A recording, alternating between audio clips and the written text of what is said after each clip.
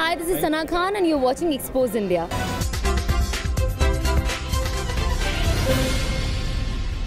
उत्तर प्रदेश के अमेठी में एक चाचा ने ही अपने भतीजे की मामूली बात पर लोहे की रॉड से पीट पीट कर हत्या कर दी।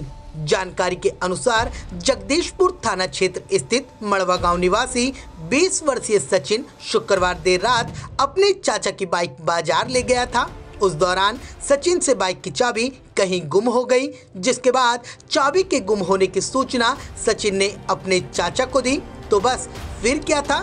चाबी के गुम होने की सूचना मिलते ही चाचा आग बबूला हो गए और आनंद फानन में सचिन के पास पहुँचे और उसे बीच बाज़ार ही पीटने लगे उसके कुछ देर बाद सचिन और उसके चाचा जब बाज़ार से वापस घर लौटे तो सचिन के घर पहुँचते ही चाचा और अन्य चार युवकों ने सचिन को दोबारा पीटना शुरू कर दिया।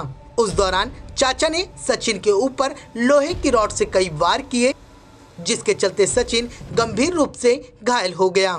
सचिन के घायल होने की सूचना जब परिजनों को लगी तो आनंद फानन में परिजनों ने सचिन को उपचार के लिए अस्पताल में भर्ती कराया, जहाँ उपचार के दौरान उसकी मौत हो गई।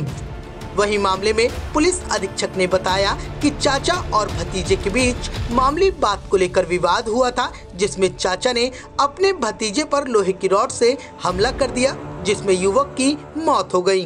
ये आज बीस जनवरी 2023 थाना जगदीशपुर अंतर्गत मड़वा गाँव में एक टू व्हीलर का चाबी को लेकर एक ही परिवार में भाई लोग के बीच में विवाद और मारपीट हुई थी। इसमें एक सचिन है इनका उम्र लगभग 20 साल का है घायल हुए थे। इनको तुरंत हॉस्पिटल भेजा गया था, लेकिन वहाँ डॉक्टर ने इनको मृत घोषित किए थे। इसी संबंधित घटना संबंधित एक महेश है उनको हिरासत में लेकर पूछताछ किया जा रहा है। फ़िलहाल पुलिस ने शव को कब्जे में लेकर पोस्टमार्टम के लिए भेज दिया है और आगे की कार्रवाई शुरू कर दी है। परंपरा को आगे बढ़ाने का संकल्प है हमारा क्योंकि आपकी उम्मीद पर टिका है परिवार हमारा। अमर भारतीय एक उम्मीद जज्बा बुलंद हौसलों का जज्बा भारत के निर्माण का।